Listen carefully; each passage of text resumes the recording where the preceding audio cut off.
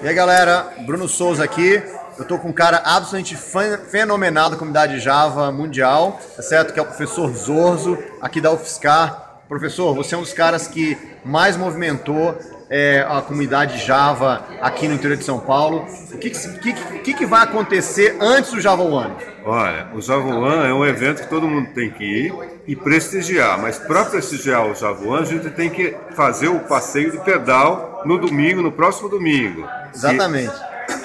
E, e eu vou estar tá lá. Então você vai estar tá lá no Geek Bike Rides, tá certo? Eu convido todos vocês a participar no Geek Bike Rides, porque pessoas fenomenais da comunidade Java, como o Zorzo, Fabiane Nardon, o Steve Chin, uma galera fenomenal da comunidade Java vai estar tá lá, você não pode perder. Pois é, é isso aí. Valeu, obrigado.